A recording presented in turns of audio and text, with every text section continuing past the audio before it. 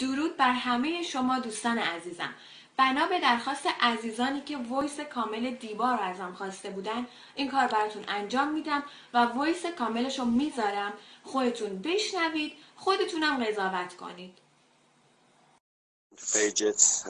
چیزی که من خودم می‌دونم این هستش که خب اون کاری که تو ایران کسافت کاری که تو ایران انجام می‌داد الان تو اینجا شروع کرده. خب یعنی اینکه بچه تو direct اومده شروع کرده به بچه‌ای که معمولا هم میاد زیر پستای من چون من خب 12 سال تو استانبول زندگی می‌کنم. می‌بینه کیا کامنت می‌ذارم مثلا زیر پارتی ها فلان اینا میره اونا رو پیدا می‌کنه با اونا شروع می‌کنه direct بازی کردن و فلان اینجور حرفا. به هر نحوی شده اونا رو می‌خواد به سمت خونه خودش میگه که هر وقت چند وقت پیش دختری کشین تو خونهش که حتی کتک کاری کردن فلان کردن. اینجا حرفا دخترم به خاطر اینکه من اون زمان با وحید خزایی دوست بودم هیچ صداش در نیورد. خب این کارش یعنی کاملا مشخص و معلوم اصلا.